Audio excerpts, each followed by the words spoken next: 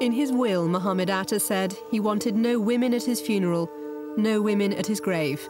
Only, he said, good Muslims. To the suicide pilot of September 11th, that meant men.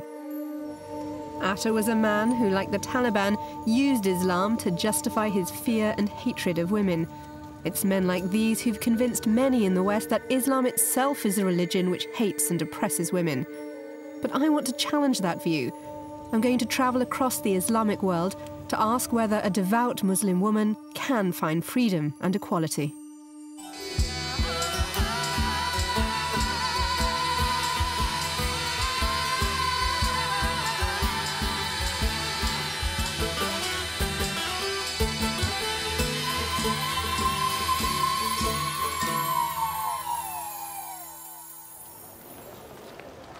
I was born brought up in Britain as a Muslim and have watched the rise of fundamentalist Islam with bewilderment.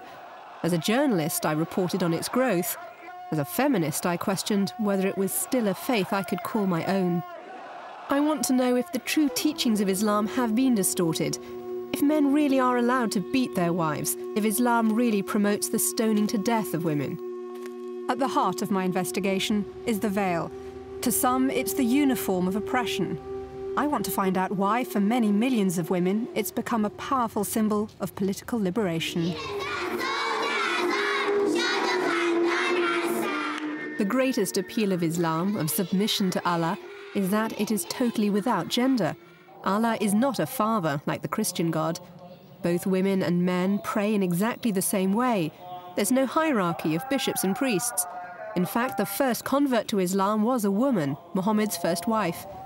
But the moment you step outside the home into the public space of the street and the mosque, women are almost invisible. I was about nine when I first went into a mosque.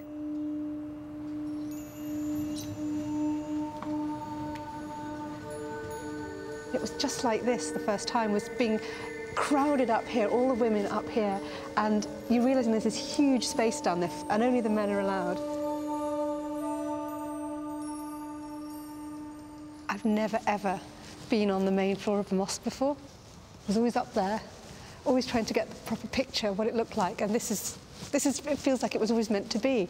I do remember talking to my dad about it afterwards and saying it was, you know, it was really quite a horrible experience in the Women's Gallery, not what I expected at all. Even then, when I was, you know, nine years old, it just didn't seem fair. But at least my generation didn't have to wear the veil. It seemed archaic. Now, girls much younger than me are taking it by choice. Why is it so important to them now? 25 years ago, I started, you know, learning to read the Quran and going to the mosque. Um, it never occurred to me that you'd be in a situation where second and third generation immigrants like myself would be choosing to wear a more strict form of the veil than their parents. My generation was told it wasn't in the Quran, but many now feel they have to wear it. The first Friday of Ramadan, Whitechapel Market in London's East End, and the heart of a large Muslim community. Here, it struck me that I was practically the only one not wearing a veil. Do you ever feel that because you dress the way you do, that you get given any grief on the street? They stare so badly. As if it's horrible. What kind of people stare at you? Any people. Non-Muslim, really. Exactly. Men look at us, isn't it? Men look at us. Some of our mums wear the like the thing, hijab and this, but they don't wear the niqab. Right. How do they? How does your mum feel about you wearing the niqab then? Proud. this is a good thing to wear it. I find it all very strange. They are just schoolgirls. But one of them said she feels naked without her hijab.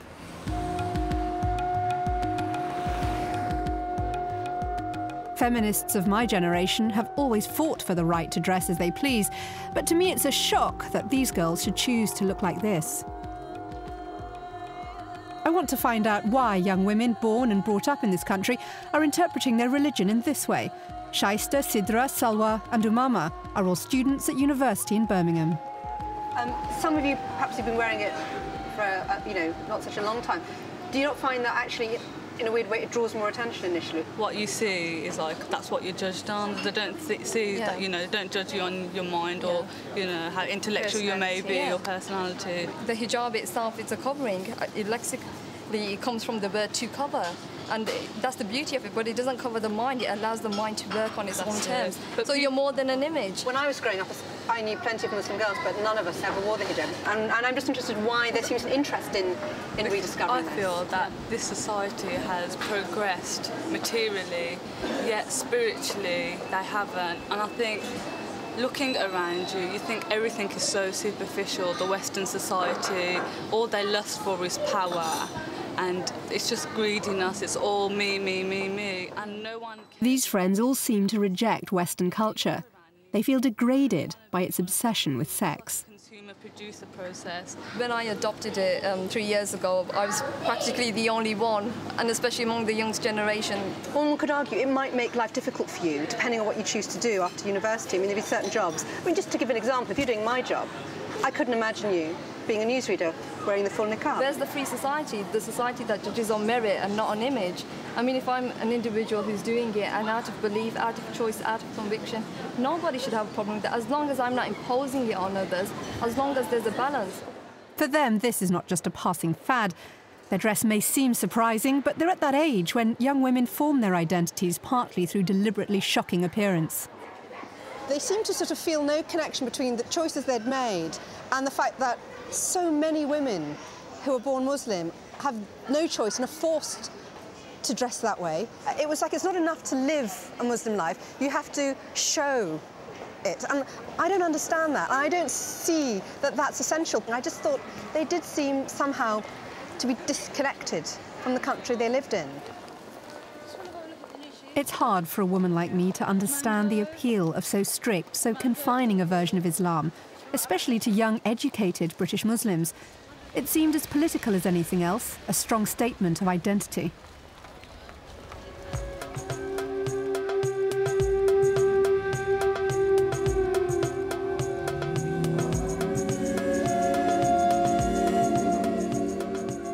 But then the rise of the modern Islamist movement has always been political, right from 1979 and the revolution in Iran. What happened here inspired fundamentalists across the world. This is where most of us first saw the veil as a powerful symbol on the streets. It's the right place to start asking questions. After 25 years under the rule of the Ayatollahs, I wondered how this forbidding, politicized Islam was treating the mothers and daughters of the revolution. I have come to meet nine year old Farzana. It's the evening before a very important day in her life as a Muslim girl.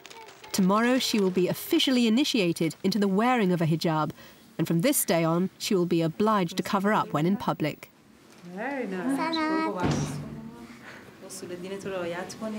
Now you have to observe the basics of Islam and do whatever God would like you to do. Can you ask how she feels wearing it for the first time? خیلی خوشحال شدم Kush, yes. what will she be doing now that she is nine that she didn't have to do before? خب معمولا قبل از سن تکلیف بچه دختر بچه Before the age of puberty, a girl is free to do as she wishes around men. Once she has come of age, she is obliged to observe all the religious duties expected at this age. She has to say her prayers, she has to fast and observe all the religious duties that are expected of her. Above all, she has to cover up. Some of Farzana's personal freedoms will be curtailed. She will no longer be able to play in the streets, but restricted to her apartment courtyard. Razana will also not be allowed to go to the shop unaccompanied. This is to protect her honour as a young woman. Actually, we like a hijab. We have chosen to be covered up and no one is forcing us. Women who don't observe the full hijab are influenced by Western cultures. And if this hadn't influenced them, then I believe they too would wear the full hijab.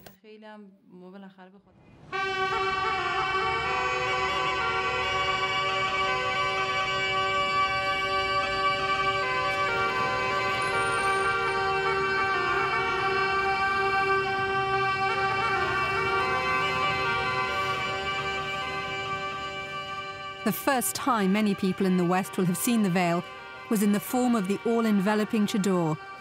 It was perhaps the most potent symbol of the revolution in Iran. In fact, it symbolizes defiance against the rule of the Shah, who forcibly westernized Iran, banning veils, even forbidding pilgrims from going to Mecca. The British and the Americans kept him in power, the politics of oil. While the liberated middle classes chose to dress this way, to the majority of Iranians, Western culture was resented as the imposition of the oppressor. When the revolution came, Ayatollah Khomeini said, Islam lived amongst the people as if it were a stranger. We have completely forgotten our identity. Reclaiming Iran, and crucially its women, from alien ideals, lay at the heart of his Islamic Republic. I wanted to know how women experience life under the chador now. In Tehran, the veil has shrunk to a discreet headscarf. Were these women still full of the religious fervour we saw on the streets all those years ago?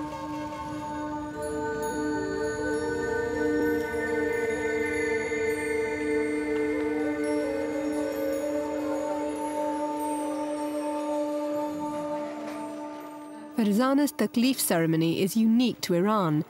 It's religious, but it is organised by the state, and it is held in a school rather than a mosque.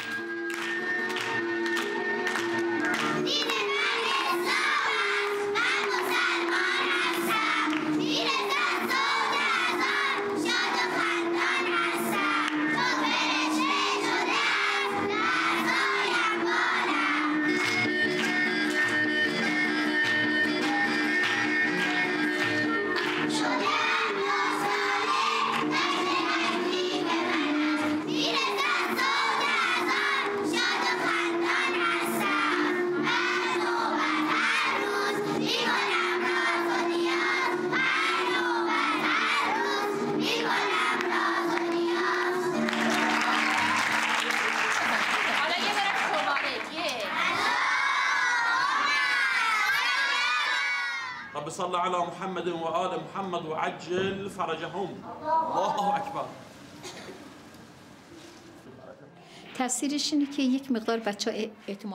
The major impact is that overnight these girls feel like grown ups, and this gives them self confidence, self worth, and a sense of duty and responsibility to observe all the Islamic rituals expected of them.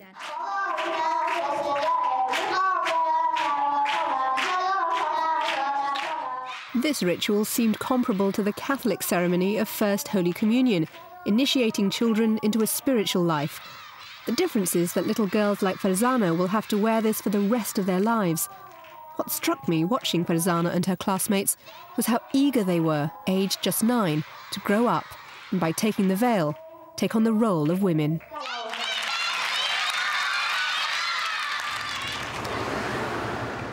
But on the other side of Tehran, I met another family who questioned the state's imposition of religion on their lives. This is nine year old Pantea and her family. They are typical middle class professionals working in computers and teaching. Unlike Farzana's family, their priorities are different. They want their daughters to have a broader education. دلم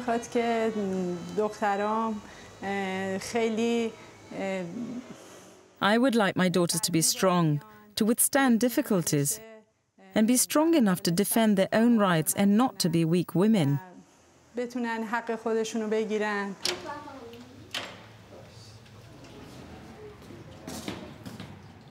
Pantea's granny and aunt live downstairs, and granny remembers when things were different before the revolution.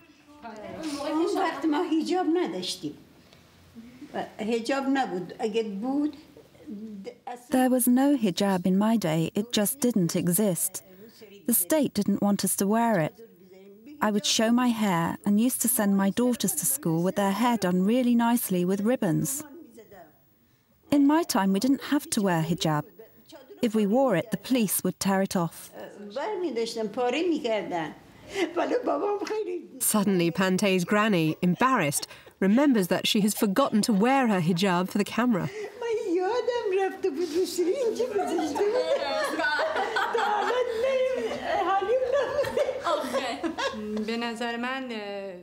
I personally think that a girl of nine is still a child and too young to wear a hijab. For example, up to the day before they turn nine, girls are allowed to play with their male cousins and relatives. Then suddenly they realize that they can no longer play with them anymore and that they have to be all covered up in front of them. I don't think it's fair for them to be separated out, even though all they do with each other is play some innocent childish games.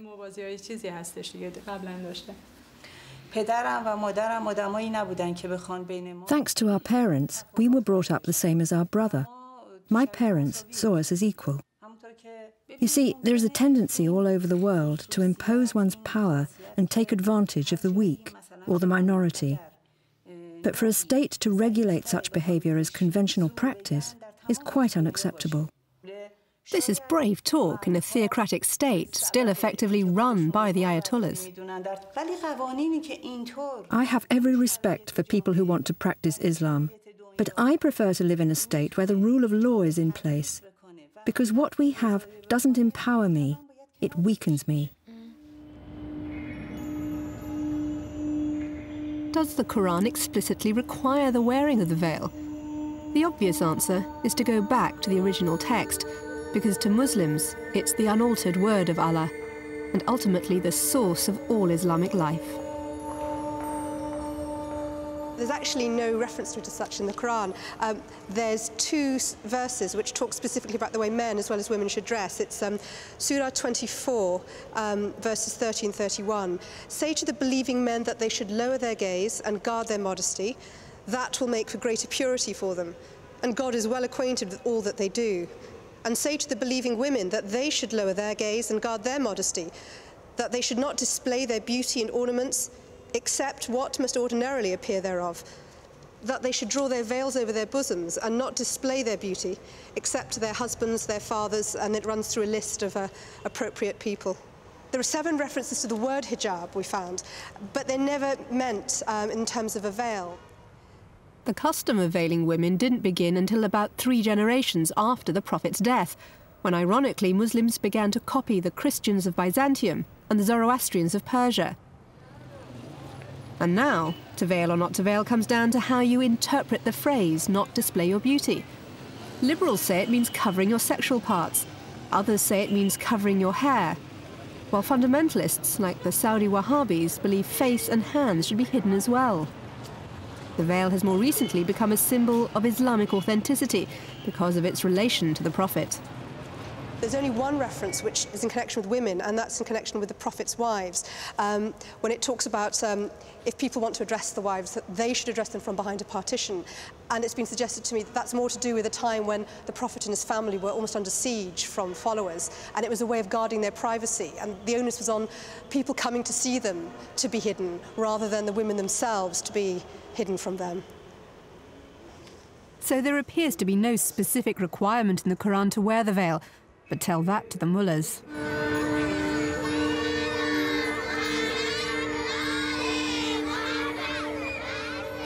I've come to Zanan magazine, which is this weekly women's magazine here in Tehran, um, to talk to uh, one of the reporters, find out the kind of stories they do, and get a sense of what the issues are for women here in Tehran. And uh, I think it's their editorial meeting, so I'm going to sit in on it. Established in 1991, Zanan was the first magazine with an openly feminist agenda. For these women, the Islamic Revolution was supposed to liberate, not suppress them. They articulate their demands through Islam and not through Western feminism, actively attempting to reinterpret the Quran and reclaim rights for women, both at work and in the home. But by tackling issues like male domestic violence and honour killings, they have got into trouble with the authorities. There have been problems at times, but in general, I would say we have had more problems with the conventional culture we live in as opposed to the problems with authorities and all the traditional perspectives of male dominant society and the way it portrays women. So, this prohibits us from talking about taboos. The editor has a commitment to support working mothers that would shame many Western companies.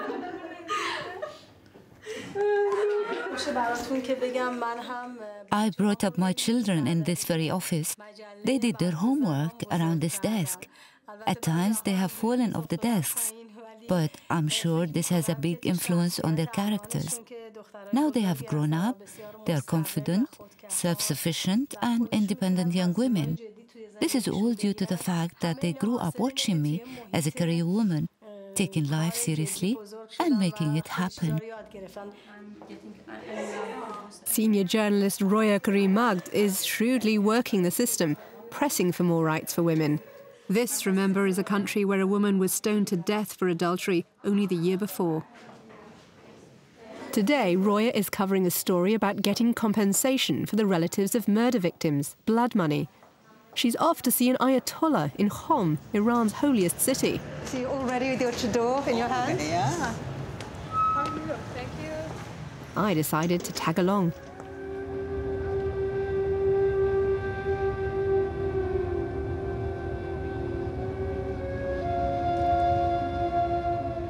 As we came into the holy city of Qom, I felt a genuine chill in my heart. Every single woman was wearing the full chador, the tent-like veil. I wasn't going to be an exception. Tehran seemed so liberal in comparison. Every female here appeared a shadow. What must it be like to be a wife or daughter in this city of Ayatollahs, where these men make the codes that govern your life?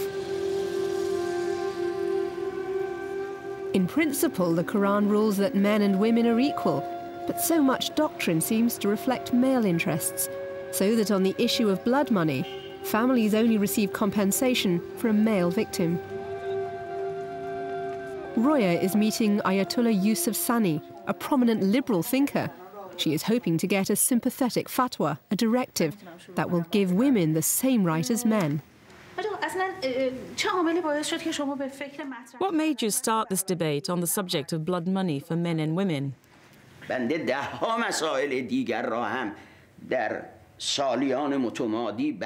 I personally have researched hundreds of subjects in the past. About 30, 35 years ago, I talked about women judges.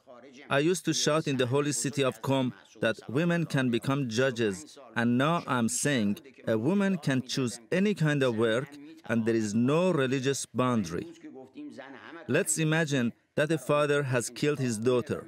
In such a case, there is no retaliation. He has to be imprisoned and pay blood money. So, how would the Ayatollah justify equal compensation for women? Any doctrine that is contrary to the spirit of Quran is not credible. Remember that there are plenty of verses in the Quran that refer to justice, and one of the bases of Islam is justice. So I have compared this doctrine with the Quran and realized that they are not based on justice, and therefore I have rejected them.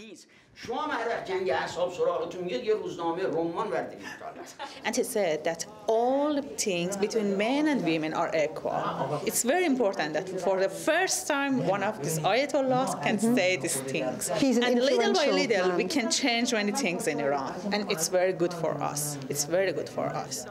This was a scoop for Roya, and as Ayatollah Sani was heading for the door, I wondered if he had equally progressive opinions on the age of girls' puberty. In Iran, it is the only country where at the age of nine um, a girl becomes a woman. And I wondered if the, um, the clerics are thinking whether that should change. A girl's age of puberty is 13, not 9. That's when a girl is obliged to say her prayers and fast. I've been saying this for 10 or 12 years. 70% of the girls start their periods and become women at the age of 13. There are exceptions that are dependent on environmental and geographical factors. If a girl gets her period at the age of 9 or 10 and her appearance changes, she becomes a woman. But in the majority of cases, it's 13.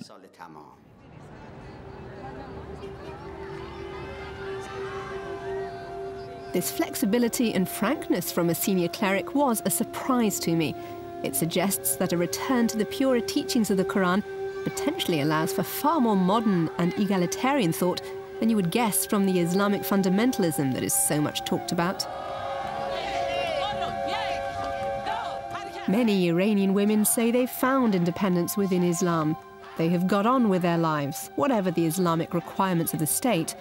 Headscarves are no excuse for not keeping fit. But others are angry and impatient. Now there is evidence that a new generation is taking to the streets, burning their hijabs and chanting, No Taliban in Tehran.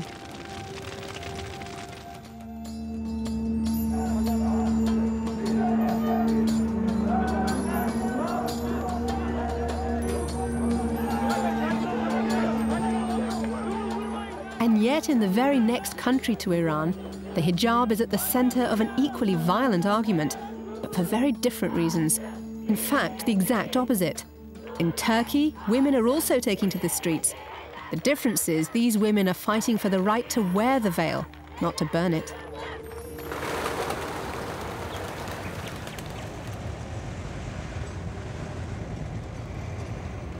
Always had this fascination with Turkey because it seems to be a country which did a kind of Islamic revolution in reverse. And since the 20s, it's had this whole emphasis on separating Islam from the state. For 500 years, Istanbul was the heart of the Ottoman Empire. After its defeat in the First World War, Turkey's leaders decided that Islam was anti-modern and reactionary. In the Muslim world, there had been no period comparable to the English Enlightenment two centuries earlier, in which church and state were separated. But now, Turkey, alone in Islam, took that step. Under the leadership of Kemal Ataturk, who pursued an aggressive policy of separating religion from government. He replaced Turkey's Arabic script with the Roman alphabet. He decreed that Turks should dress in Western clothing. He banned the hijab and the fez, and to set an example, presented his own wife with her hair daringly exposed.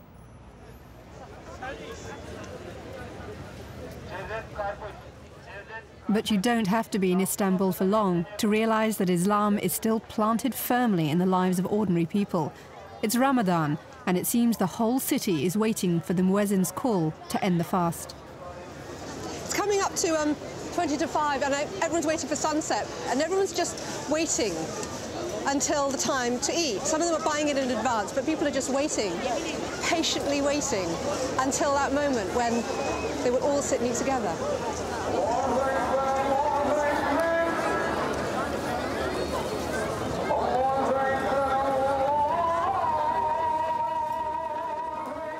In the open air, some women choose to cover their heads.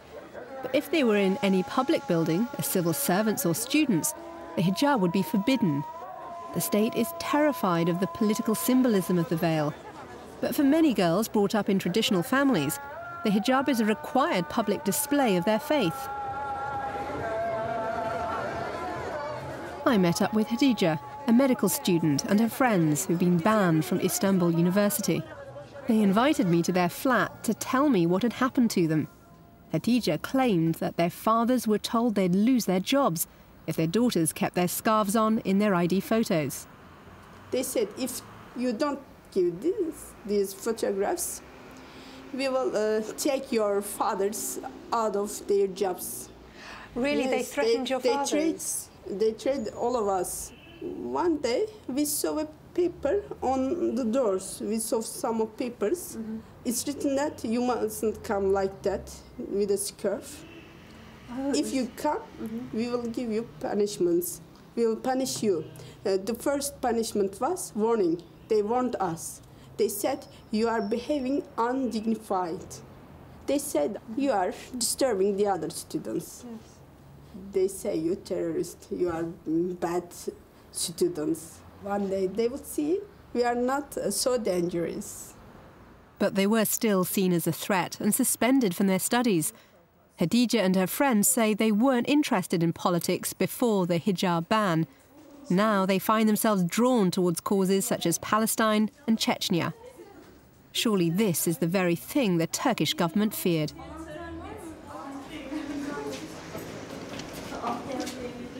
Coming away from meeting those girls, their families and they have really struggled um, to kind of come to the big city and transform their lives by trying to become doctors or nurses or going to university. And it seems just particularly shocking that the state is going to such extremes to persecute them.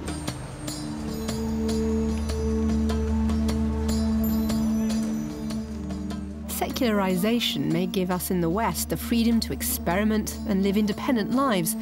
But when Western culture is imposed on Islamic societies, they can experience it as being as alien to their way of life as Islam would feel if it were imposed on Britain. The government's hijab ban was introduced in 1998 because Muslim practices had been creeping back into the workplace. People have since been forbidden to pray at work.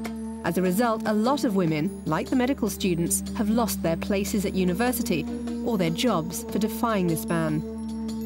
Finding herself in this position, Tuba Akuz set up a support organisation to help other women.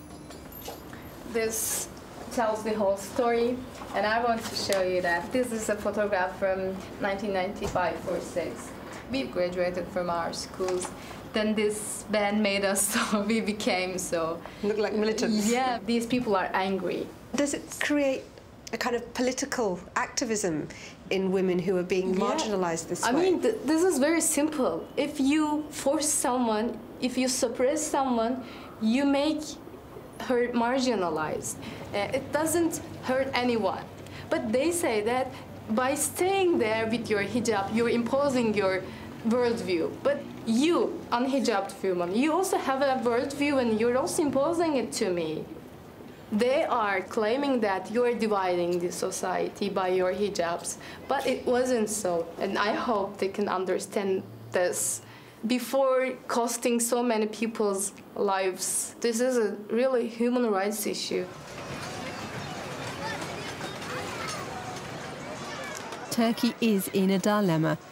It is a secular democracy, but by wearing the hijab, many women are challenging the secular state. Others, also good Muslims, say it's perfectly possible to separate religion and the state. In fact, it's more important now than ever. I'm going now to meet a journalist who stood in the recent elections on a very pro-secular ticket. She's campaigned a great deal on the importance of keeping things like this hijab ban. And in a sense, she's the person I want to ask about the they. You know, who are these people who seem so afraid of the hijab? What is it about the state that feels so under threat from Islam when ordinary Turkish people seem to have no fear and no problem at all? If you ask my personal idea, do I like the uh, headscarf? And as a feminist, um, I, I will say no, I don't like it. And why? Because I think it's against freedom of the body. The hijab somehow is is a problem, and I'm wondering why why that should think, you know, hijab is uh, not the biggest problem, of course. I think it's a minor problem of a bigger problem, which is how do we uh, put Islam and democracy together? Because, uh, as you know, uh, maybe better than me, Islam is, uh, is a, a religion which is organizing your daily life. You cannot, in a Muslim country, you cannot have democracy if you then don't have secularism. Because if Islam is going to rule our daily lives, then you cannot have democracy. You're saying it's impossible to have um, an Islamic state that is democratic. I want to live with the European uh, standards of democracy in my country, which I think that the, these are the highest standards of democracy. Now, unfortunately, my country has become a test area for Islamic democracy. And I'm, I don't feel very happy about it. Zainab, herself a Muslim, fears men, mullahs, are lurking behind the hijab issue. She fears an Iranian style reintegration of religion with the state. But ironically, by refusing to tolerate Islamic practices, her party is going against the will of the majority. It is not democratic. The trouble is that the hijab is used as a symbol by politicians and revolutionary movements for their own purposes. It can be interpreted as progressive or as reactionary. In the 2002 elections, the overtly Islamic AK Party won power, and of course, on their agenda is the right for women to wear the hijab. But the first thing that strikes you when you meet their spokeswoman is that she chooses not to wear the hijab. Since we've been in Istanbul, we've met um, a lot of um, women who've lost their jobs or lost their place at college or university because they want to wear the hijab and they've been told they're not allowed to. Um, will your party have any plans to change that? Devlet kamu hizmeti verer, verirken When the state is offering a service to the public, it cannot discriminate between its citizens on grounds of language, sex, religion, or race. It wouldn't be fair, and our constitution provides free education for everyone. So it would be a typical human rights violation not to allow students to attend school because of this problem. Do you think it will be hard to change the way so many state institutions at the moment refuse to allow women these freedoms? Is that something difficult to change? National consensus is very important on this issue.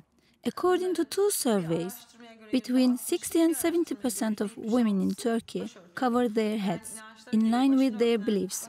This is too big a percentage to ignore. You cannot conduct politics as if women do not exist.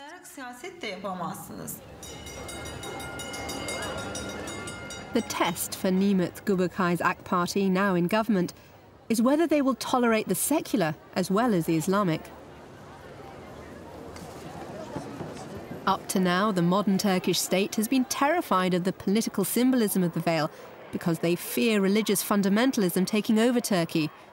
The irony is that it's the secular state that has come to be seen as oppressive, denying religious freedom.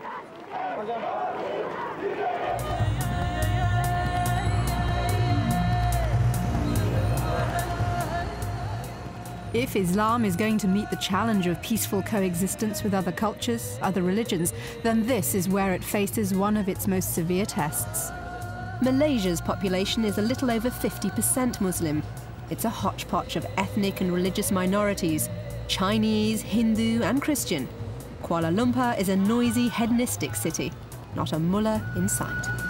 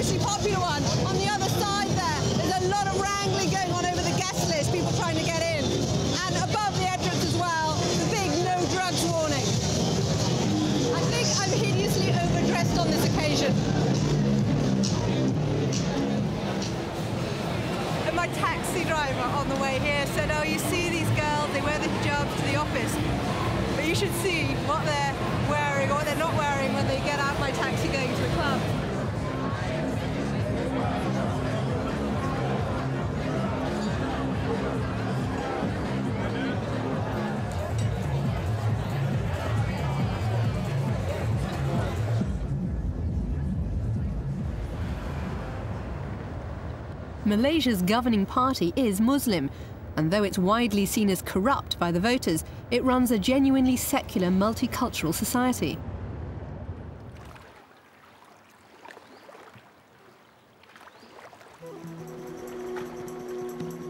But I'm heading upriver to the north of the Malay Peninsula and a world away from the capital.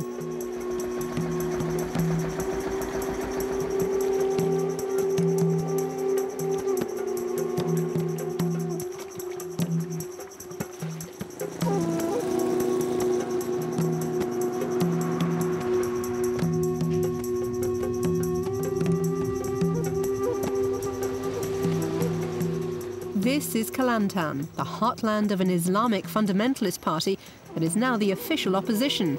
The party Islam Se Malaysia, PAS for short, has been in power here on and off for 30 years. From the moment you arrive here, there is no mistaking that you are now entering a re-Islamicized zone. Billboard I noticed the other day, at first I thought it was like a, a specially taken photo, the mother and the daughter wearing hijabs. And then I realised going closer in daylight that someone has carefully painted on the hijabs. And they've even chosen different colours for the mother and the daughter, and they've painted on shadows. So actually at a distance, it just looks like it's real.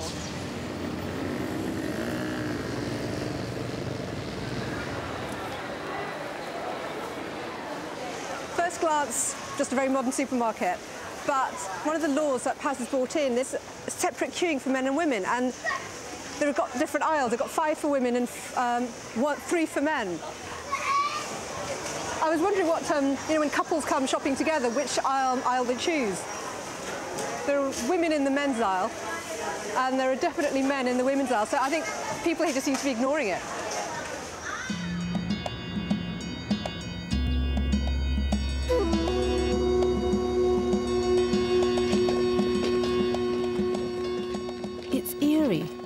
Almost unique in Southeast Asia. Here, there's no karaoke, no public entertainment. Every woman I see is wearing the hijab. It's compulsory for Muslims. This is the rule of PAS, a party led by a man who says women in skimpy clothes are the main cause of social ills and decadence. A man who wishes to introduce the stricter form of the Sharia law. The women I've met knuckle under this hijab law, but Nik Aziz tries to pass it off as no big deal. It seems to me that women here all choose to wear the hijab anyway. I'm just interested as to why you feel there's a necessity to legislate if most people, without any compulsion, which is surely the way of Allah, without compulsion, have chosen to, to live that way. Yang kedua masalah undang-undang ni kami tak buat lagi sekarang. Undang-undang kalau orang buka tudung tu kena undang-undang, kami tak buat. Cumanya We haven't enforced it. We've only implemented a minor regulation or bylaw. Even if we enforce it, not everyone would listen. Not all human beings listen to good advice. There are some who are resistant and only want to listen to evil. That is why we prefer to use advice. There is a concern that you see women as being morally weaker and, in a sense, the um, women are responsible for men's behaviour. Everything which could lead to adultery has to be banned. That's why we close down discos and nightclubs to curb the possibility of committing adultery, abandoned babies, and rapes. I consider a woman's voice as part of her aura and her clothing as well. Women's clothing to me is very important because a woman who is wearing the hijab won't attract men's attention. But even I, myself, as a man, can get easily aroused and lust after a woman without hijab. If a man sees a woman who exposes her body, it is very hard for him to contain himself. That's why we have banned women from singing and wearing clothing that exposes the body. In nightclubs, there is singing, men can easily mix with the women, take drugs, hugging each other, rapes. Could you tell me, is this a good place or what? His voice is gentle, his words shocking. The problem, he believes, is women's sexuality and men's lack of self control. And while Nik Aziz struck me as devout, he clearly believes people can't be trusted to make their own moral choices. This market is named after Khadija, the Prophet's first wife, who was a successful businesswoman, as are these women of Kelantan. In fact, 80% of the businesses in Kelantan are run by women.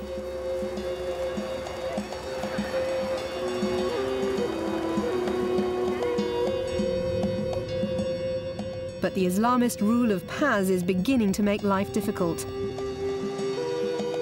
Norizan Yusuf's hotel business was thriving, but in September 2001, the PAS party put a ban on all live music and even some traditional dances.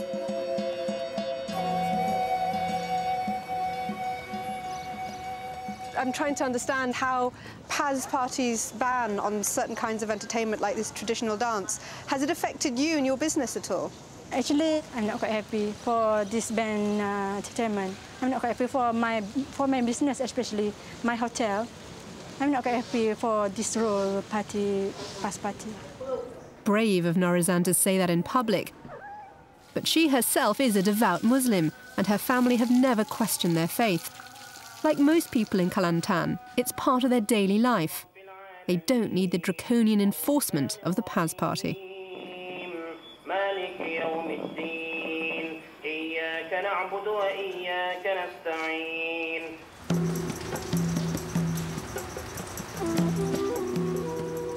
So why do people vote for this party? Poverty is only part of the story. Nik Aziz's Islamic revivalism is attractive because it's seen as uncorrupt. In Kelantan, as in so many other places across the world, radical Islam has taken the place of Marxism. But there is real opposition to the fundamentalists, and it comes from fellow Muslims. Sisters in Islam are a pressure group who combine the vigour of Western feminism with practical Malay Islam. They distribute simple leaflets to ordinary women on what Islam says about polygamy or domestic violence, complete with quotes from the Quran and phone numbers for the police. I went to meet Zainah Anwar, one of the founding members, another devout Muslim woman who says she won't allow her religion to be hijacked. The Islam that I grew up with is no longer here. Really? you know, yeah, because of the discrimination that women suffered, um, you know, problems in getting a divorce, getting maintenance, issue of polygamy, domestic violence. And most of the time, when they go to seek for redress to their grievances, they're told that this is Islam. But when we went back to the Quran and read the verses in the Quran, it was very, very clear that the Quran talks about justice, about equality, about compassion in the relationship between men and women. I cannot accept an Islam that is unjust. Well, I'm interested, you said you grew up with a very progressive Islam and you feel that's disappeared. How has that yeah. happened? If you look at pictures of Muslim women in party politics in the 1950s, 1960s, you just see black hair everywhere. No one was in a hijab. But all these became issues with you know, Islamic revivalism that engulfed the country starting from the 70s. Suddenly you're told that as a woman you need to cover up. Um, you're told that, you know, it's dangerous to mix with non-Muslims, you know, because they're infidels who might lead you astray. And the idea that my mother, who, you know, did not wear the hijab, is burning in hell because she never covered her head is something that I just cannot accept. Since 2001, Sisters in Islam have had a real fight on their hands. The PAS party are trying to get the strict Sharia penal code onto the statute book, including the amputation of hands and feet for theft and stoning to death for adultery. Laws and policies are being made in the name of Islam, you know, that are regressive, PAS are taking away um, rights that have been granted to women in the past. These laws are basically non-enforceable you know, or if they are enforced, they will violate the federal constitution in terms of fundamental liberties and in terms of equality before the law. Because who are being targeted? You know, it's this kind of uh, less privileged, less empowered women who are being targeted under these laws. Leaving Malaysia, it seemed that strong Muslim women like Zainah Anwar were the country's best chance of not succumbing to the fundamentalists. Women are drawn to Islam because it gives them a strong sense of identity and enriches them spiritually in a material world. It's an identity Islamists define as inherently political. But some Muslim women are prepared to challenge that, to say that there is a way of reconciling Islam with modernity and the West, and to do that, they're brave enough to take on the mullahs.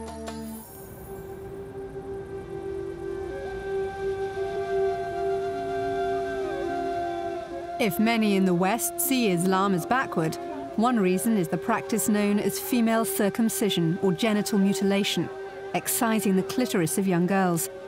In Egypt, it's thought 97% of married women have been mutilated in this way.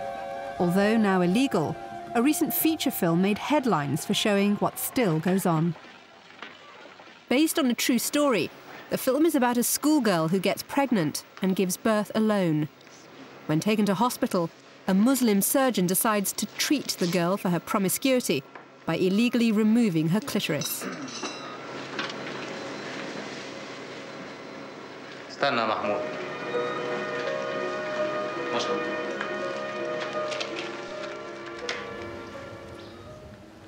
This cruelty is regularly defended by Muslim clerics, who often say it's Islamic. I spoke to one conservative sheikh, Dr. Abdul Sabur Shaheen. He was full of enthusiasm for the practice. أولا الخفاض هو نوع من تكريم البنت بدلا من أن تكون مشوهة ختان المرأة إنما يكون Circumcision is an act of compassion. towards the woman. It's a way of honoring her rather than disfiguring her. It is necessary when the woman has a long clitoris. That is why it is reduced. Reduction helps because the long clitoris is a discomfort to the woman when she is walking in the street. So it is the norm to reduce the organ proportionately rather than eliminate it entirely. But just a few minutes later, Dr. Shaheen changed tack to say that it was really all about sex. It prevails in rural communities because of the need to protect the girl. If it stays long, she is in a state of extreme sexual excitement. No one can deny this. So it is done to stop the girl from being wayward. After that, she can get married and satisfy her sexual desires legitimately in a proper Islamic way.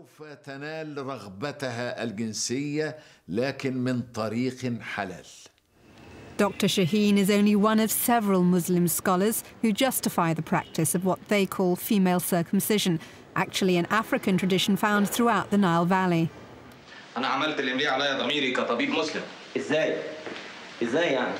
وفين موافقة أهل المريض؟ يلا ما جابتش 16 سنة قليلة الرباية حامل وبتولد ويمكن اللي عملته ده يساعدها تتحكم في نفسها شوية. الطهارة مهمة يا دكتور حتى طبيا. The director of this film, Magdi Ali, based the story on his own experiences working in a hospital as a pharmacologist. I try, for, for example, for this circumcision to say that it's not Islamic. But they don't believe me. In the film, if you notice, the, the, the woman says that the Prophet never makes circumcision to his daughters. So this is uh, a, a, a marvelous proof, proof that it's not Islamic. What this is really all about is the conflict over age-old traditions in a culture where, especially outside the big city, men are used to controlling women. It may not look like much, but this busy women's clinic in Cairo is a front line in that fight. Dr. Mawaheb El Mouelhy's patients are from poor, rural, and mostly very strict Islamic families. And she tells them that there's nothing in Islam to justify female genital mutilation. Female circumcision has nothing to do with religion. It's been there for, for ages and ages, even pre-Islamic, even pre-Christianity. And our Christians, as well as the Muslims, do it. In many cases, uh, tradition is mistaken for religion. Islam has some instructions, of course, for women, but unfortunately, religious leaders tend to control women by not revealing the whole facts about Quran. But the good thing is that women's attitude towards circumcising their daughters is changing. In 1997, the Egyptian government made female genital mutilation illegal, but it continues to be carried out in backstreet surgeries and even middle-class private clinics.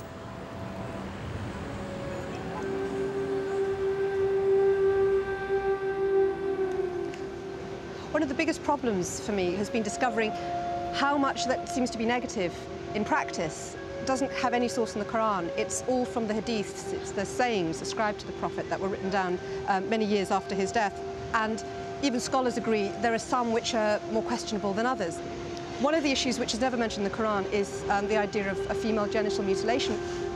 But there is one hadith which um, has a reference to a woman who apparently carried out such practices coming to the Prophet and asking him about it and he is supposed to have said, if you must cut, then cut gently or cut lightly, um, because it is more pleasing for the man.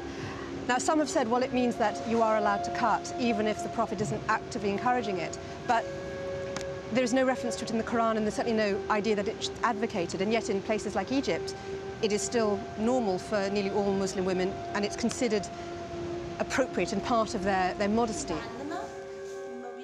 If female genital mutilation is slowly on the retreat in Egypt, it is because women are challenging the old traditions using the religious texts themselves. Cairo's Al Azhar University and Mosque is considered to be the highest seat of learning for Islamic scholars, the world authority on Quranic interpretation. At the women's faculty, I found young, confident Muslims taking an active part in the debate about the future of their religion, unlike their mothers who were excluded from religious study. They study literature in Arabic, uh, medicine, but they didn't study religion. Prophet Muhammad say, Islam muamala, which means Islam is how to deal with people. That's what we are learning. In fact, that's the one thing that I think we should be basically concerned with. It's um, correcting the, the image of the highly disfigured image of women um, abroad. These young women reject Western values, but they also reject many of the practices which they and their mothers were brought up to believe were Islamic. Seeing them now as just the result of a culture in which men policed female behavior. If we started this uh, talking and this conversation with foreigners, I think we could have prevented many bad things to happen. Women in Islam are, are being educated. Um, they get a chance at building a highly reputable career. They, they earn their own money and they have their own standing and their own position on difference of worldwide problems. So why think of them as less in any way from women all over the world? And I think that's our mission mainly to simply show the true face of Islam. I mean, say in Saudi Arabia, women cannot drive a car or cannot vote. That's what they say is Islamic, but that's not true here. I just wondered if you have an opinion about that. Everything in Islam is allowed, unless this thing is forbidden by a verse or by a perfect hadith. Everything is allowed, unless these things are circled by kind of rules.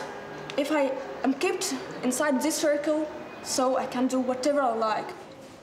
These students at Al Azhar are genuinely committed and they know their holy text in detail. I imagine they'd have no trouble holding their ground against male fundamentalists. I don't know if they'd call it feminism, but that's what it looks like to me.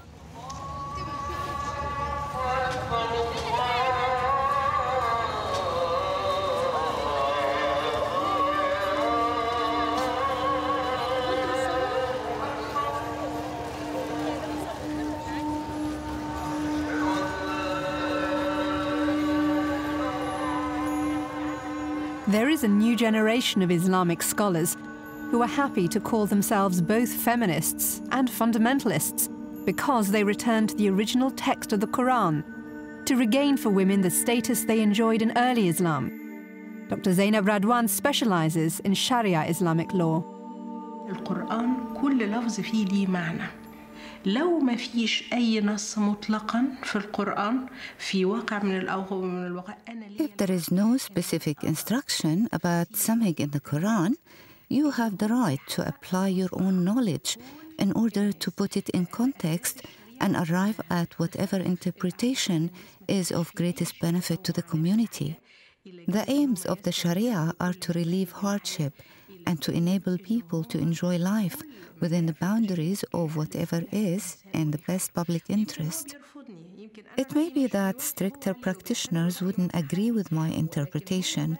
They would argue that a literal reading is the only way forward for the survival of Islam in our society today. Well, I don't agree with that strict stance. In every Islamic society, there are liberals and conservatives.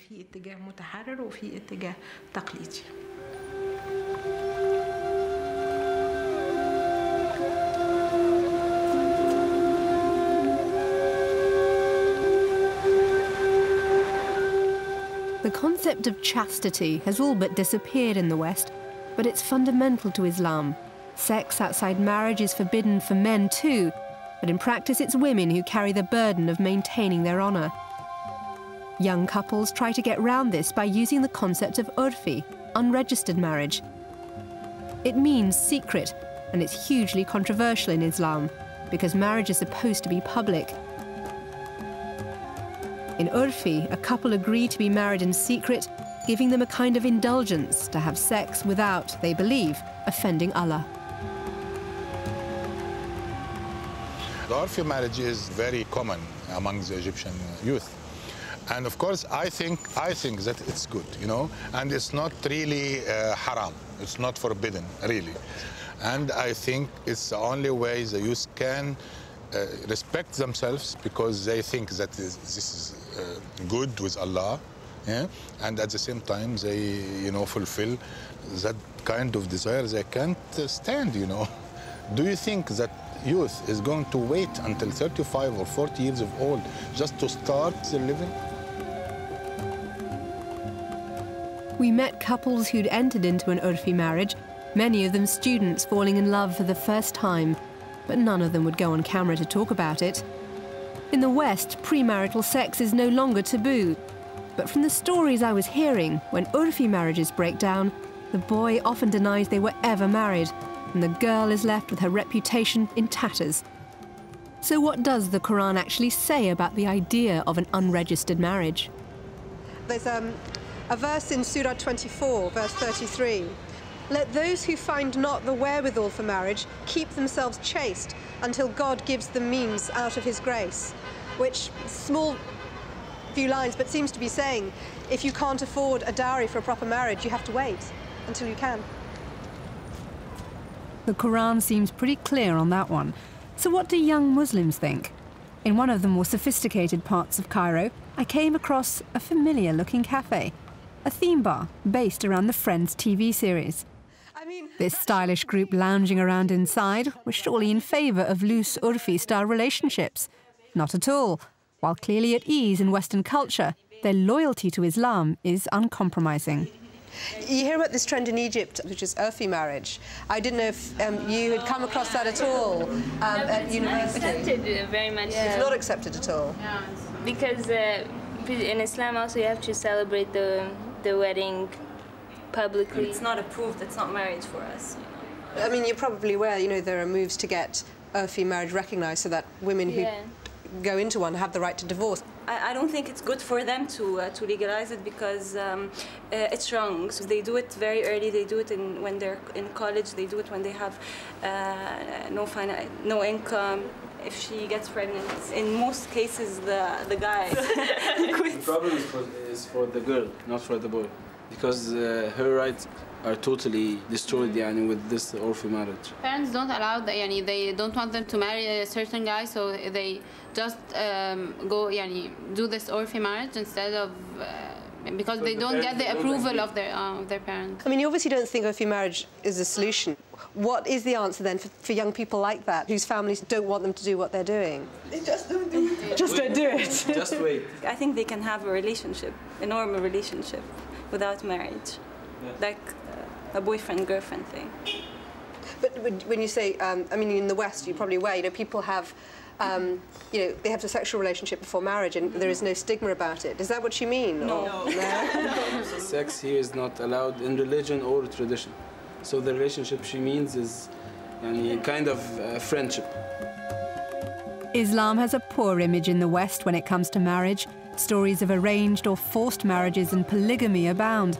But as I was about to find out, when you go back to its roots, it's very firm in its advocacy of women's rights.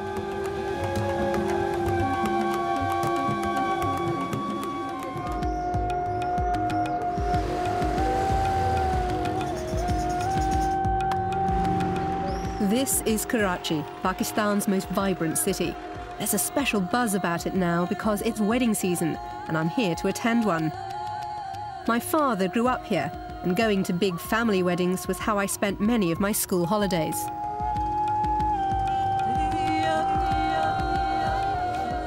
The bride to be, Nadia, is at the beauty parlour, putting the finishing touches to her wedding preparations. Nadia is a Sunni Muslim, while her fiancé, Hussein, comes from a more religious Shia family. I wondered what difference that would make to the wedding ceremony.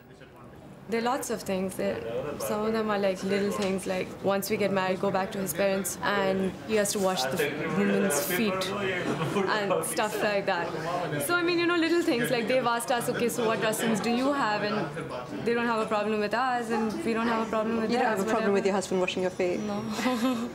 I think it'll be fun actually. washing. You hear a good deal about arranged marriages in Pakistan. I wondered how she and Hussein got together. We've practically grown up with each other. We were in the same school for like 15 years, but we didn't really know each other. It was only until we went to college. He was in Boston, I was in Chicago. and that's where we met in Boston. But in Pakistan, arranged, sometimes forced marriages are still the norm in the poorer, rural parts of the country, as families try to keep control of women's property rights, which are passed on through marriage. Again, it's local custom and culture at work. And on this issue, the Quran is very clear. There is no concept of forced marriage in the Quran, indeed of arranged marriage. It's always assumed that the woman and the man are both giving full consent. She owns her own property and she has her own rights, which have to be respected. O ye who believe, ye are forbidden to inherit women against their will, nor should ye treat them with harshness, that ye may take away part of the dower you have given them, except where they have been guilty of open lewdness. On the contrary, live with them on a footing of kindness and equity. And amongst the wealthier classes, love marriages, like this one of Hussein and Nadia, are what most young people would aspire to. And later in the Quran, in Surah 30, which deals in more spiritual terms with the, the creations of God, one of the verses is specifically about the amazing creation of marriage and of, of men and women for each other. And among his signs is this, that he created for you mates from among yourselves, that ye may dwell in tranquility with them. And he has put love and mercy between your hearts. Verily in that are signs for those who reflect.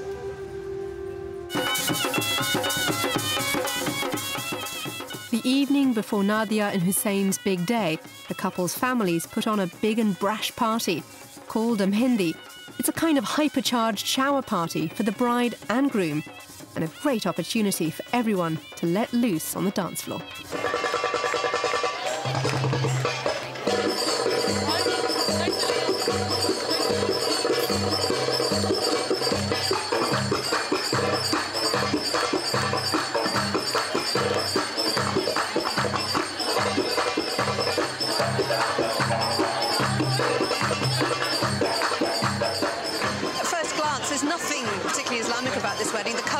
Traditions, the flowers, uh, the, the fruits and offerings, the ceremonies, the dancing, the henna, it's all Indian.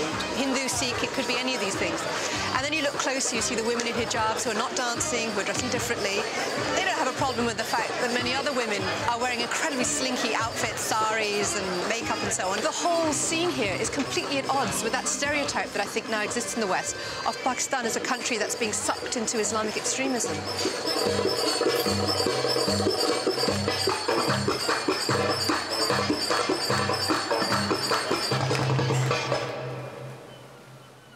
Next morning, before Nadia and Hussein's wedding gets underway, I head to the shore where Karachi faces the Arabian Sea.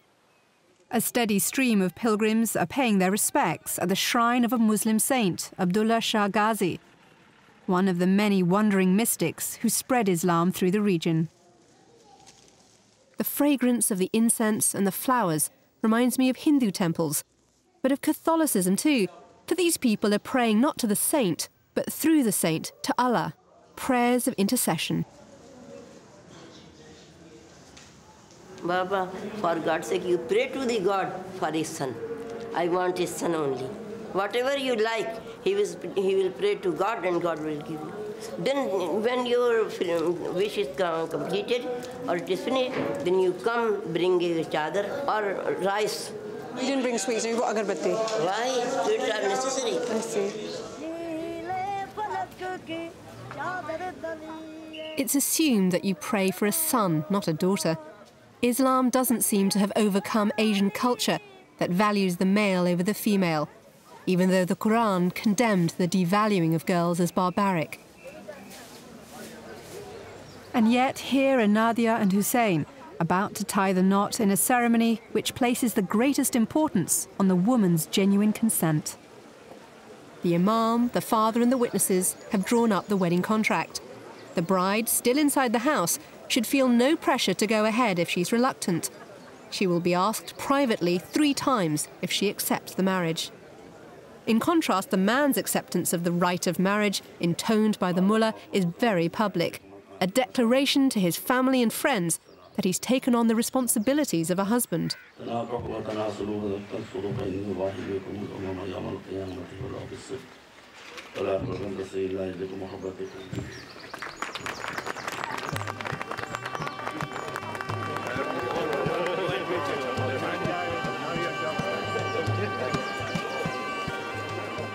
Nadia has accepted the marriage and now joins her new husband.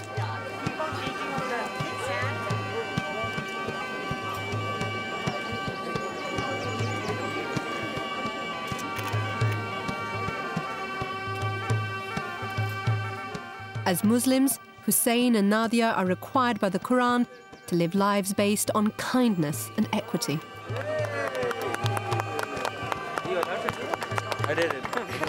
And they start life together on the basis of a contract that specifies a woman's material rights in the marriage, something prescribed by Islam more than a thousand years before it was heard of in the West.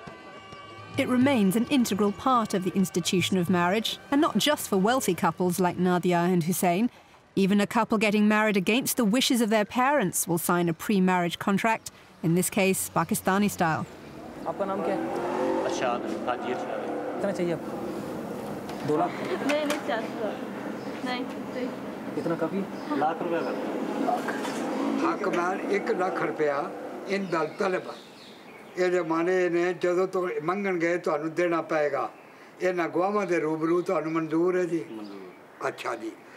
अच्छा बेटा हम तुम दसो ती अपनी मर्ज़ी ना निकाह कर रहे हो ना? ज़बरदस्ती तो नहीं? जो कल को गल कहना मेरे को एवं साइन करा दे सन। ये गल तो नहीं? अबल कर मत आई ला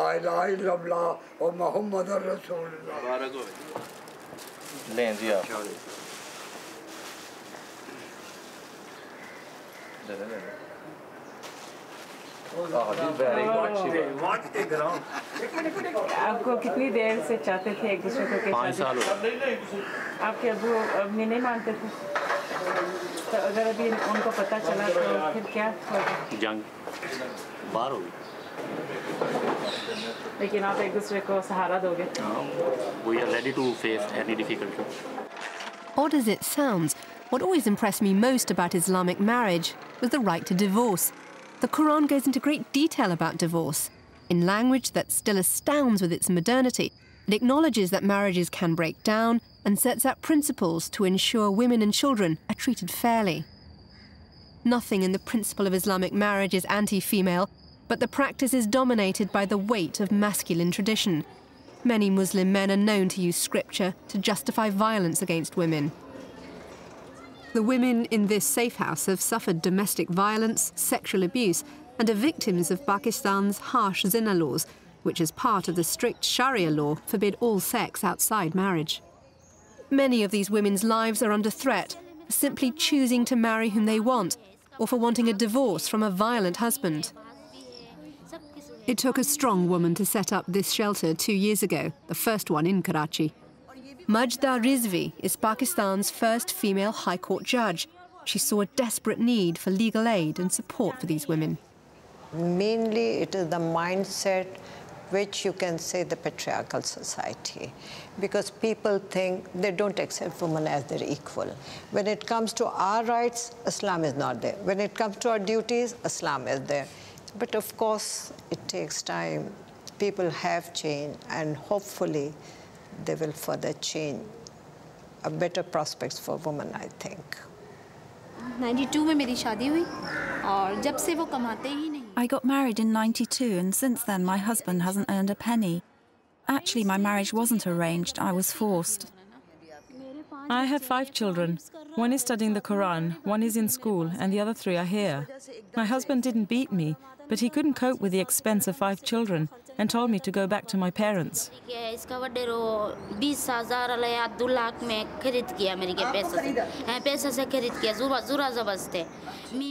I was sold for 20,000 rupees. They bought me forcibly. I wasn't happy about it, but they forced me. Then I had a son and a daughter, and my husband kept me locked up because he was afraid I would run away. Then I became pregnant again. He beat me up and then threw me out.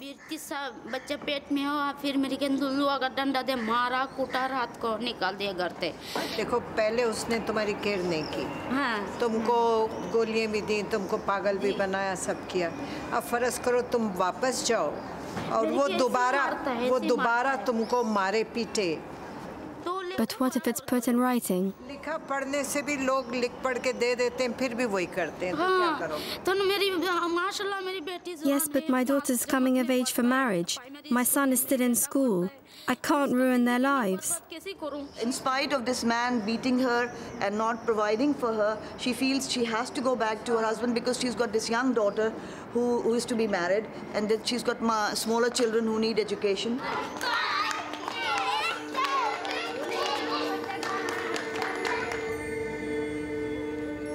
So, does the Quran justify beating? Men are the protectors and maintainers of women because God has given the one more strength than the other, and because they support them from their means. Therefore, the righteous women are devoutly obedient and guard in the husband's absence what God would have them guard. As to those women on whose part ye fear disloyalty and ill conduct, admonish them first, next refuse to share their beds, and last beat them lightly. But if they return to obedience, seek not against the means of annoyance, for God is most high, great above you all. When I first read this recently anyway, it seemed to kind of be the, the heart of the whole kind of feminist debate. You know, do women have to be obedient because men are inherently um, their masters? And in the context of, um, of punishment, rather than seeing it as men have the right to beat women because, you know, women obviously need a bit of a beating, the first thing you should be doing is is trying to reason, it's completely turning on its head um, the attitudes to women of the time and, and talking about treating each other as equals in a way. And you know, rather than beat up your wives, I think it's saying is beating should be the last thing on your mind.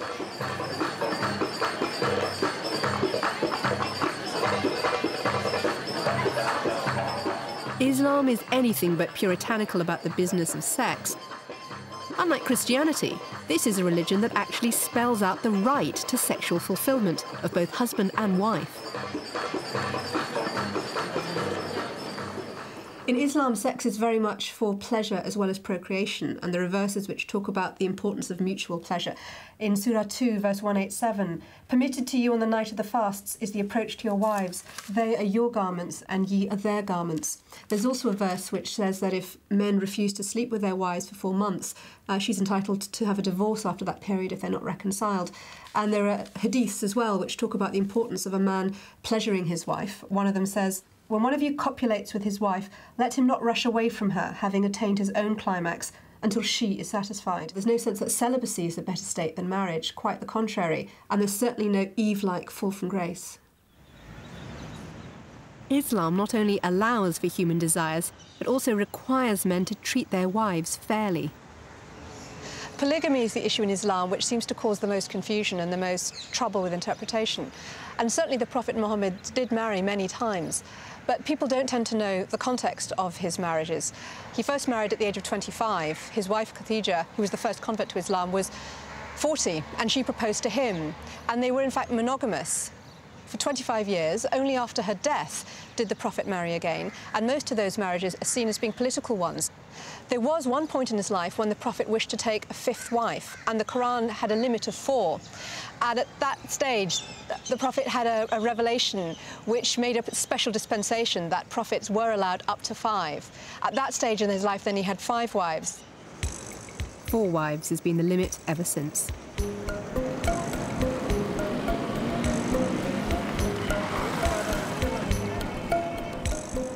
Here in Nigeria, 42% of all married women are in polygamous relationships, not only within Muslim marriages, but as a result of Nigerian pre Islamic custom. A man can have sex with four women within marriage, but if a woman sleeps with more than one man, that's adultery. But does Islam see that as a matter of private conscience or a crime against God to be punished in the courts? In Nigeria, the stories of women sentenced to be stoned to death for adultery have shocked the world. The argument about enforcing Sharia, the Islamic legal code, goes on, but as yet no woman has been stoned to death.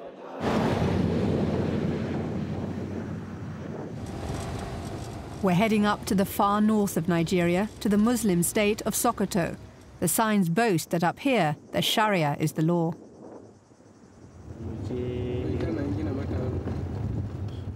We've come in search of one of the women sentenced to death for adultery. Her name is Safia.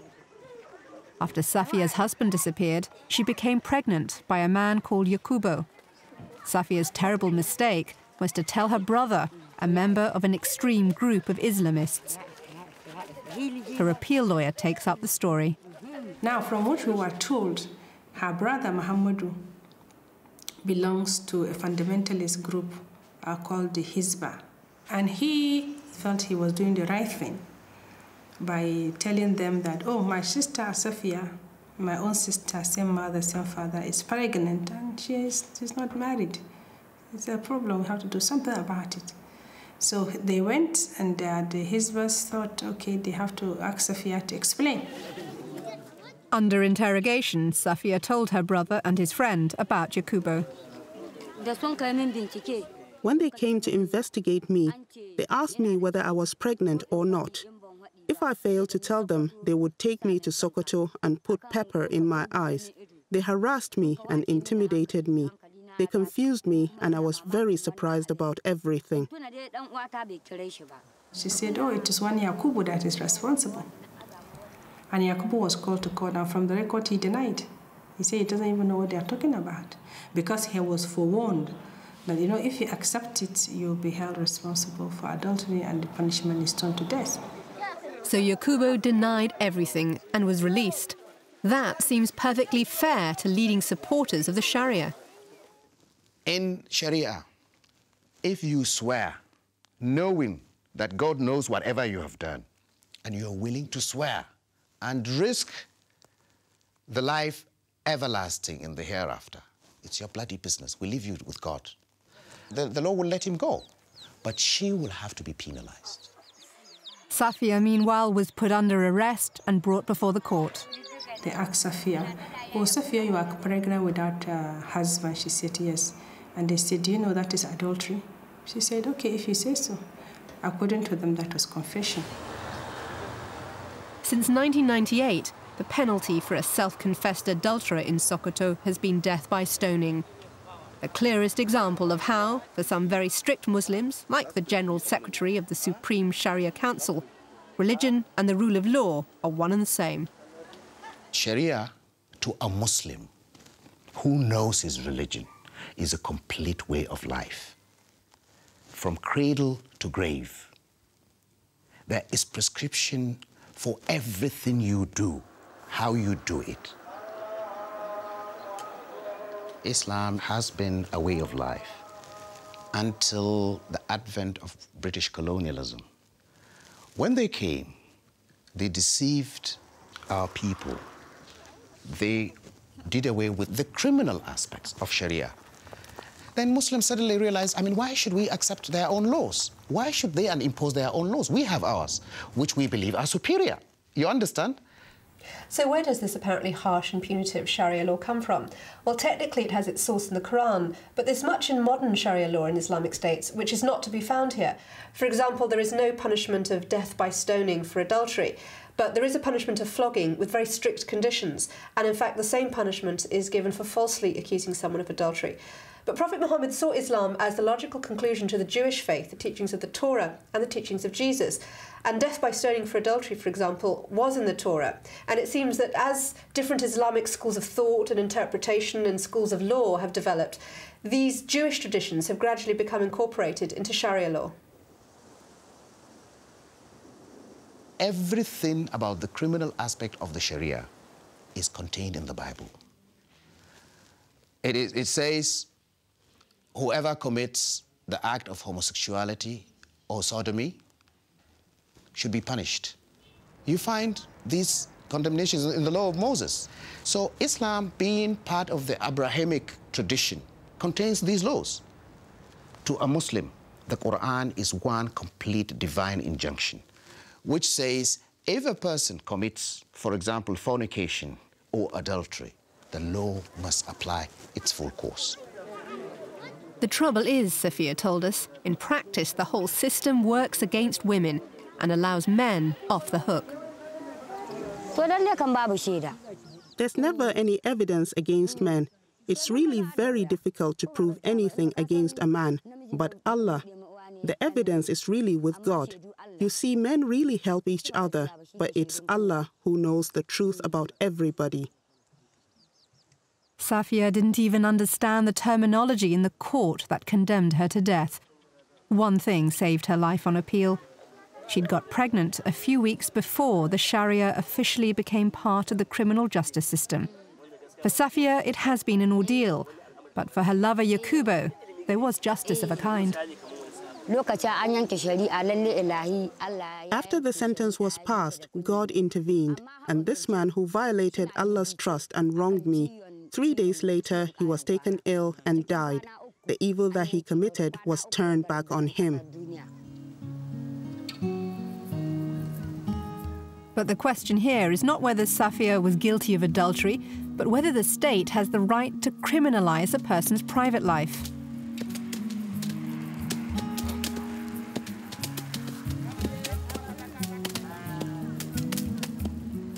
Safia's lawyer says that for Muslims like her, as with modern Christians and Jews, the answer should be no. My personal opinion is that to a very, very large extent, religion should be separated from state.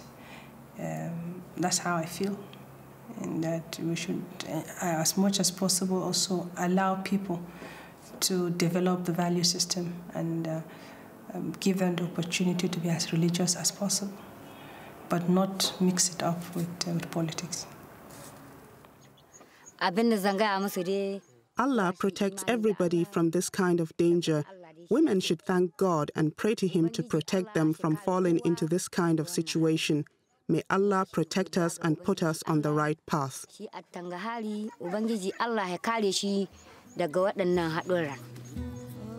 Safia was poor, uneducated, had no real idea of the crime she was supposed to have committed. But as I was finding out, she was typical of the kind of woman throughout the Muslim world who was victimized by Sharia law.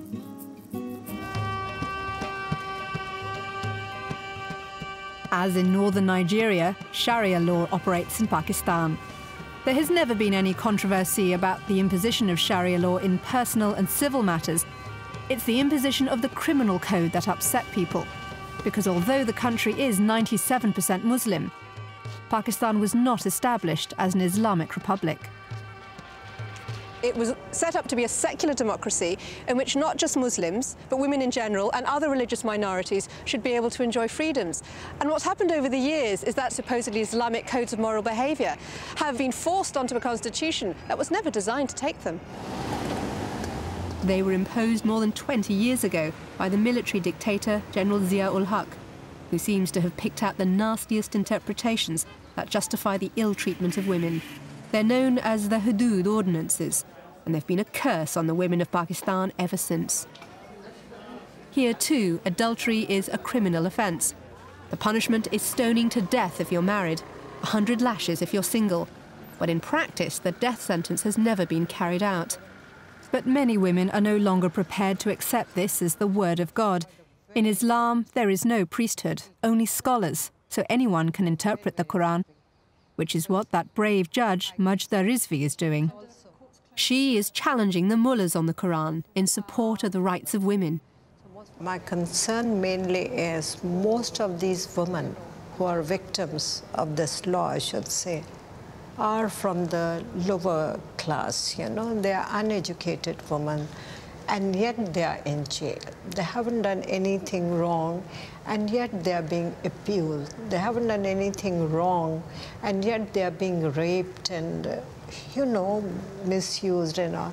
So I really feel bad, and my concern is that if we really want to have the Islamic laws, then they should be according to Islamic injunctions and not the law which is badly drafted, which is being abused, misused, misinterpreted, because this is not Islam. So here in Pakistan, as in Egypt and Nigeria, educated women, politicians and lawyers are telling a new generation of young Muslim women to interpret the Quran for themselves. And that's why I tell women, you know, the younger, the women who are being educated, read Quran. Read with meanings. Try to understand. Try to interpret. Use your brains. and then we can fight with the mullahs because mullahs have no education at all. They have learned just a few things, and on that, the entire village is being governed by them because the villagers are mostly illiterate people, and whatever the mullah says, they accept it. So, this is my concern.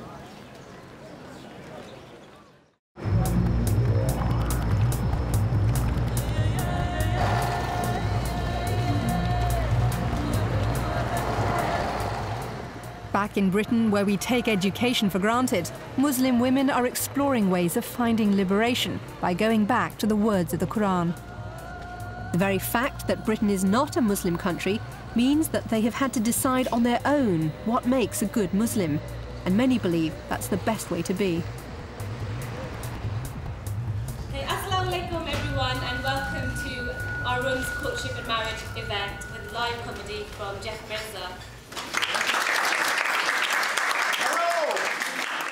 This is Clerkenwell in London and a club full of young professionals, single Muslim professionals attending a courtship and marriage evening.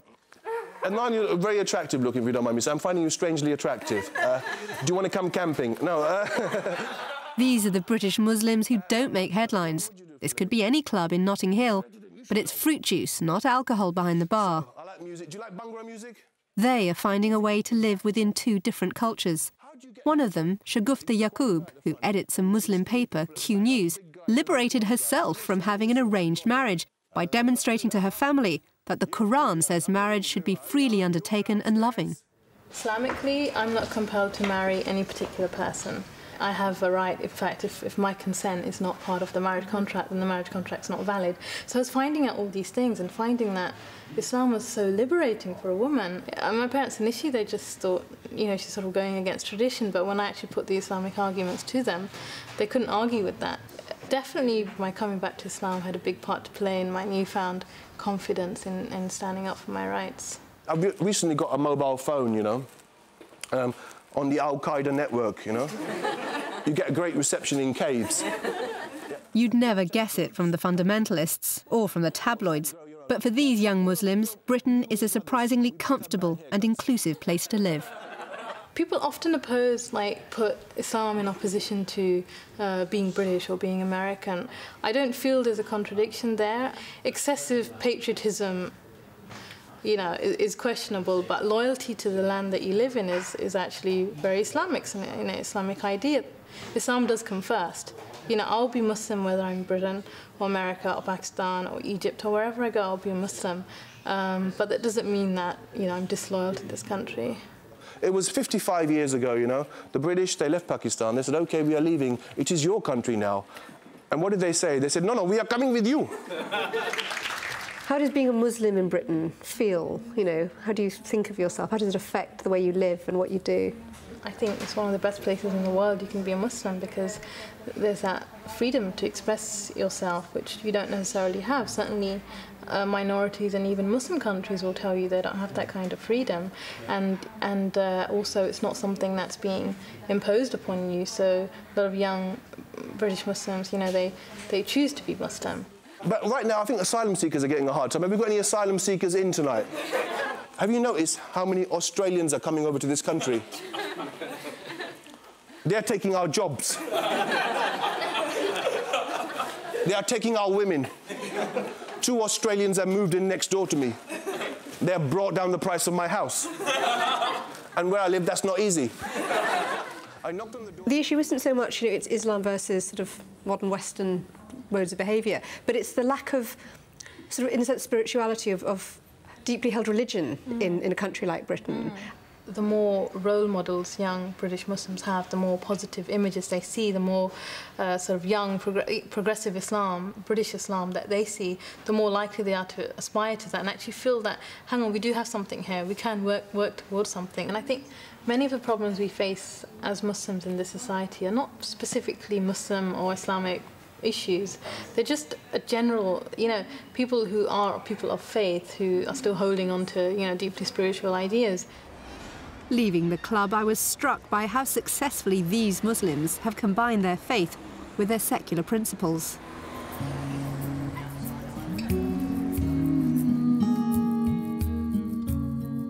When I began my exploration of the lives of women in Islam, I couldn't understand why so many younger than me were turning to the veil, why public identification as a Muslim was so significant. Having travelled across three continents, what I now understand is that the harsh simplicity of fundamentalism is very often a reaction against the imposition of Western culture. That the old symbols and practices provide self respect and identity. But what I didn't expect, and what's given me real hope, is the discovery that across the Islamic world, it is modern free thinking women who are going back to the Quran to challenge the mullahs and are seeking an interpretation of Islam that works for women in the 21st century. I am confident that they will find it. Inshallah.